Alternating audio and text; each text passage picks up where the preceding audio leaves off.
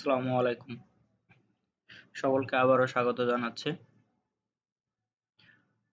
পূর্বের ভিডিওর ধারাবাহিকতায় আমি চেয়েছিলাম যে মাইক্রোসফট অফিসের যে শর্ট ইন্ট্রোডিউসিং দেওয়া হয়েছিল, সেখানে আমি উল্লেখ করছিলাম যে মাইক্রোসফট অফিসের সম্পর্কে আমি খুব বেসিক থেকে অ্যাডভান্স লেভেলের কিছু বিষয় ধারাবাহিকভাবে আপনাদের সামনে তুলে ধরবো। তারই ধারাবাহিকতায় আমি অ্যাট ফার্স্ট এক্সেল মাইক্রোসফট অফিসের যে এক্সেল আছে সেই এক্সেল সম্পর্কে একদম বেসিক থেকে অ্যাডভান্স লেভেলে কীভাবে কাজ করা যায়, শুধু এক্সেলকে একটা স্যালারি শিট কিংবা একটা ফাংশনাল ব্যবহার করার বাইরেও আরও অনেক অনেক অ্যাডভান্স লেভেলে কাজ করা যায়। তো বেসিক অ্যাডভান্স দুইটাই থাকবে। বেসিক থেকে অ্যাডভান্সটা কীভাবে কোন টেকনিক ফলো করে আমরা যেতে পারি, কোন টেকনিক অবলম্বন করে আমরা করতে পারব, সেগুলো আমি দেখানোর চেষ্টা করব। আর সব মিলায়ে এছাড়াও মাইক্রোসফট অফিসের ওয়ার্ড এবং পাওয়ার পয়েন্ট সম্পর্কেও আমার নিয়মিত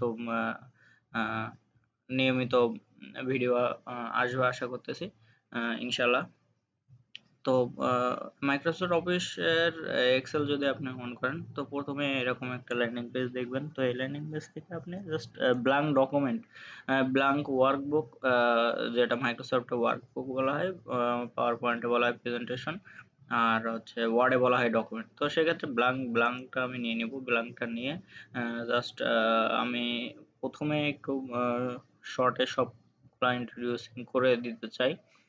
পরবর্তীতে বিভিন্ন প্রজেক্ট করব। বিভিন্ন প্রজেক্ট করতে করতে বেসিক থেকে অ্যাডভান্স লেভেল আমরা দেখব। তো মাইক্রোসফট এক্সেলের যে মেনু বারগুলো আছে মেনু বার এখানে যেরকম ফাইল হোম ইনসার্ট এই যে মেনু বারগুলো আছে, এখানে একটা শর্ট ইন্ট্রোডিউসিং আমি দিই। সেটা হচ্ছে যে ফাইল মেনুতে ফাইল মেনুতে সবকিছু আমাদের জানা আছে ইনশাআল্লাহ। তো এর মধ্যে যেটা আমি শেয়ার করার মনে, প্রয়োজন মনে করতেছি, সেটা হচ্ছে যে ইম্পর্টেন্ট যেটা হচ্ছে যে শেয়ার এটা আপনি চাইলেই ক্লাউডের আপনার যে সার্ভার আছে সার্ভারে সেভ করে রাখতে পারেন বিভিন্ন ড্রাইভে এছাড়াও ইমেল করতে পারেন। ইমেলের ধরনও আছে। ইমেল আপনি সরাসরি অ্যাটাচড মেল করে দিতে পারেন। সরাসরি অ্যাটাচড মেল পিডিএফ ভাবে দিতে পারেন এক্সপিএস ফরম্যাটে দিতে পারেন, অথবা ফ্যাক্স করতে পারেন। তো এই সবগুলা আবার আপনি এটার একটা শেয়ার ফোল্ডারে রেখে এটা লিঙ্ক শেয়ার করে দিতে পারেন ইমেলে যে এই লিঙ্কে গেলে আপনি পাবেন। তো এটাই হচ্ছে সবগুলো শেয়ার তো হরমেশাই যেটা অফিসের ক্ষেত্রে কিংবা ব্যবসার ক্ষেত্রে যেটা লাগবে, সেটা হচ্ছে যে ইমেলে যে সেন্ড অ্যাজ অ্যাটাচড করে দিতে হতে পারে। আপনি মেলে যে আবার ফাইলটা খুঁজবেন অ্যাটাচ করবেন, তো এর থেকে এইখান থেকে ডিরেক্ট আপনি সেন্ড করে দিতে পারেন। আর একটা যে বিষয়টা আছে, এটা হচ্ছে এক্সপোর্টের যে বিষয়টা।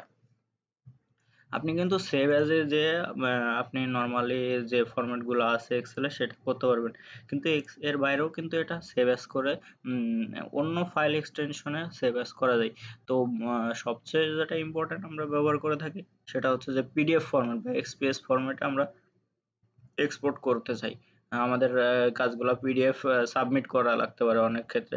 তো সেটাও আমি ধারাবাহিকভাবে দেখাবো যে কীভাবে PDF just export export create as PDF দিয়ে আপনি আপনার ফাইল লোকেশন এক্সটেনশন ধরাই দিলে এটা পিডিএফ ফরম্যাট এই যে এই যে PDF format save type PDF form PDF format আপনি লোকেশন অনুযায়ী দিয়ে দিন এটা পিডিএফ সেভ হয়ে যাবে। তো আরও আছে পাবলিশ এটাও ওই সেম এজ এর শেয়ারের মতন আপনি এটা ডিরেক্ট পাবলিশ করে দিতে পারেন। অন ড্রাইভে এটাই ফাইল ম্যানেজারের মানে একদম ফাইল ম্যানেজারের যে বেসিকের বাইরে যে বিষয়গুলো আছে, সেগুলোর কিছুটা। আর এছাড়াও এক্সেলের যে মেনুগুলো আছে, যেমন হোম মেনুতে আপনি বিভিন্ন ফর্ম করবেন ক্লিপবোর্ড পাবেন ক্লিপবোর্ডে কপি কাস্ট পেড পেস্ট এছাড়া ফরম্যাট পেন্টার এই ধরনের যে টুলসগুলো আছে, এখানে ক্লিপবোর্ডে পাবেন আপনি। আর তারপরে এছাড়াও ফন্টের যে ফন্টের ধরন সাইজ কালার সবকিছুই ফন্ট ইয়ে পাবেন অ্যালাইনমেন্ট পাবেন নাম্বারিং পাবেন ফরম্যাট সেল পাবেন স্টাইলিশ আপনি কি ধরনের ফরম্যাট স্টাইল করতে যাচ্ছেন এটা পাবেন সেল পাবেন এডিটিং পাবেন। তো এগুলা সব আস্তে আস্তে আমাদের প্রজেক্ট করার সময় চলে আসবে। আর এরপরে আছে ইনসার্ট বিভিন্ন ধরনের আপনার ইনসার্টিং অপশন ব্যবহার করতে পারেন। তো এখানে পিভিট টেবিল আছে মোস্ট ইম্পর্টেন্ট পিভিট টেবিল নিয়ে আমি আশা করতেছি খুব শীঘ্রই ভিডিও দেওয়ার চেষ্টা করব। আর তারপরে টেবিল আছে পিকচার অনলাইন পিকচার মানে স্মার্ট আর্ট ওয়ার্ডের যে স্মার্ট আর্ট শেপ এগুলো আছে চার্ট আছে। তো filtering timeline header footer text box word art style symbol equation সব কিছুই ওয়ার্ডের ম্যাক্সিমামটাই এই ইনসার্টের ম্যাক্সিমাম ওয়ার্ডের এক্সেলের ওয়ার্ড এবং এক্সেলের ইনসার্টটা ম্যাক্সিমামে একই রকম। কিছুটা পার্থক্য আছে আর তারপরে পেজ লেআউট তো পেজ লেআউট থেকে আমি একটা জিনিস দেখিয়ে যেতে চাই, সেটা হচ্ছে কীভাবে একটা পেজ সেট আপ করবেন। কীভাবে একটা পেজ ভিউ করে আপনি কাজ করবেন। তো নর্মালি যদি আপনি এখানে কাজ করেন কথার কথা, আপনি যদি এখানে কাজ করেন, এখানে কাজ করেন তো অনেকগুলো ডাটা আপনার কলাম ওয়াইজ অনেক লং কলাম হইতে পারে, অনেক কলাম অনেক দূর যাইতে পারে ডাটার অনুযায়ী। আপনার পেজটা আসলে যখন এটা এক্সপোর্ট পিডিএফ করবেন ইম্পর্টেন্ট বিষয় হচ্ছে পিডিএফ করবেন কিংবা প্রিন্ট করতে যাবেন, তখন কিন্তু আপনার যদি পেজ সেটআপটা করা না থাকে, প্রথমেই পেজ সেটআপ না করা থাকে, তাহলে পরে কাজ করার পরে আবার আপনাকে এডিট করতে হবে, ছোট, বড়, কমানো ওয়াটার সব কিছুই করতে হবে। তো সেক্ষেত্রে সবচেয়ে ইম্পর্টেন্ট আমি যে টেকনিকটা অবলম্বন করে থাকি সেটা হচ্ছে যে আগে পেজ আগে এক্সেলটা ওপেন করেই পেজ লেআউটে এসে পেজ সাইজটা পেজ সাইজ ওরিয়েন্টেশন আমি কোন ধরনের পেজে কাজ করতে যাচ্ছি ডাটার উপর নির্ভর করবে যে এটা ল্যান্ডস্কেপ হবে না পোর্ট্রেট হবে। এরপরে মার্জিন মার্জিনটা সেট করে নিই যে একদম আমি খুব ন্যারো মার্জিনে কাজ করতে চাই না আপনি মানে জাস্ট কাস্টমাইজ করে নিতে পারেন। তো ন্যারো যদি আমি দিই মার্জিন তো এখন দেখবেন যে পেজ সেট আপ করার সাথে সাথে এইখানে একটা ডটেড লাইন আসছে। তো এটা আমরা এটাই আমার মূলত পেজের ইয়ে যে সীমানা তো পেজ এই পর্যন্ত হচ্ছে এটা এ ফোর সাইজের পেজ। যদি একটু ছোট করি ছোট করে এই যে দেখুন, এখানে এই যে এটা হচ্ছে যে এ ফোর সাইজের একটা পেজ এরকম ভাবে আবার এখান থেকে শুরু করে এখানে একটা এ ফোর সাইজের পেজ তার মানে এর বাইরে যদি আপনি লেখেন, এখানে যদি একটা ডাটা লেখেন, তার পাশে এটা ডাটা লিখলে, এই ডাটার পাশে যদি এই ডাটা লেখেন, তাহলে আপনার দুইটা পেজে চলে যাবে। যেরকম আমি যদি যাই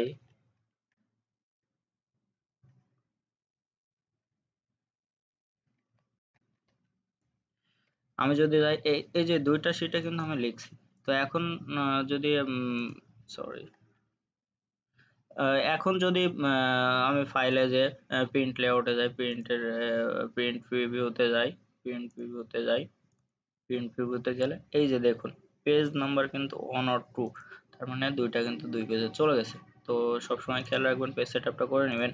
আর পেজ সেট করে নিয়ে এবার যে বিষয়টা আসতেছে হ্যাঁ প্রিন্ট এরিয়াও আপনি সিলেক্ট করছেন। এগুলো আমি স্কেলিং সব কিছুই দেখাবো। জাস্ট পেজ সেট আপটা দেখালাম। আর এরপর আছে ফর্মুলা হিউজ একটা টিউটোরিয়াল দেওয়ার চেষ্টা করব এই ফর্মুলার উপরে। সবগুলো ধরে ধরে একদম অটোসামের থেকে শুরু করে একদম ধরে ধরে এক্সপার্ট লেভেলের ইঞ্জিনিয়ারিং লেভেলের যে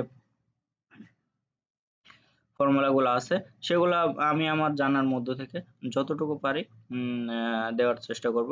আর এরপরে আছে ডাটা ফরম্যাট এটা আপনি বিভিন্ন জায়গা থেকে ডাটা ইনপুট করতে পারেন get data extension data access থেকে নিতে পারেন ওয়েব থেকে টেক্সট থেকে আদার সোর্স থেকে নিতে পারেন। এরপরে ট্রান্সফর্ম করতে পারেন, নতুন কোয়ারি নিউ কোয়ারি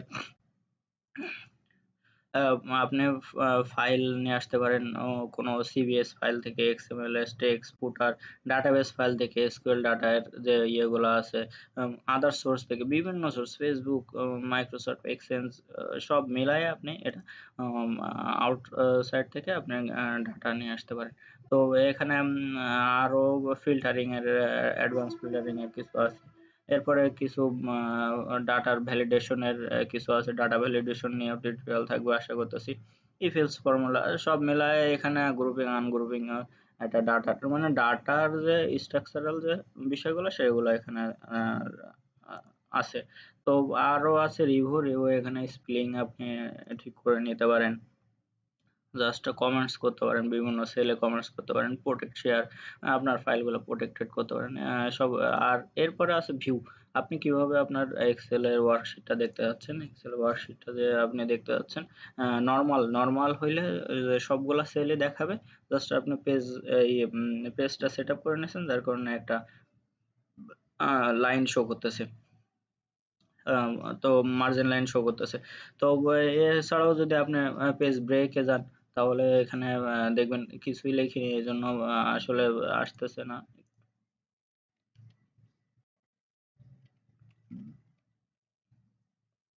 পেজ ব্রেকে গেলাম। দেখেন পেজ ব্রেকে আমার এই নেম পর্যন্ত এই পেজটা ব্রেক করে নিয়েছে। এটা হচ্ছে যে পেজ ব্রেকের ইয়ে যে আর আপনার একটা পেজের নাম্বারিং সে দিয়ে দিচ্ছে। তো আর একটা আছে যে পেজ লেআউট আমি যে ফোর সাইজের পেজটা করেছি, এটা এই যে দেখুন, এটা সেপারেটর আছে। এই যে সেপারেটরটা আছে, এই সেপারেটরটা দিয়ে আমাকে আইডেন্টিফাই করে দেওয়া হচ্ছে মার্জিন দিয়ে দেওয়া হচ্ছে যে আপনার এ ফোর সাইজের যে পেজ সেট আপ করছেন, সেটার পেজটা এতটুকু। বাকি পেজ এর পাশে আছে, এই পাশে আছে, এই পাশে আছে। তো সেই ক্ষেত্রে এখানে আর কাস্টমাইজ আপনি আপনার অনুযায়ী ভিউ করে নিতে পারেন। আর আরেকটা আছে নিট্রো টেন এটা হচ্ছে অ্যাডন্স এটা আমি নিয়ে আলাদাভাবে আলোচনা করব। যখন এক্সপোর্ট পিডিএফ এর একটা বিষয় নিয়ে আলোচনা করব, তখন ওটা আমি অ্যাডন্স নিয়ে ডিটেলস বলব।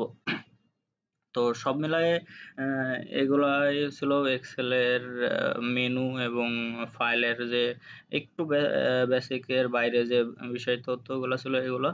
আর সব মিলায়ে এক্সেলের ভিতরের কিছু বিষয় একদম বলার চেষ্টা করতেছি।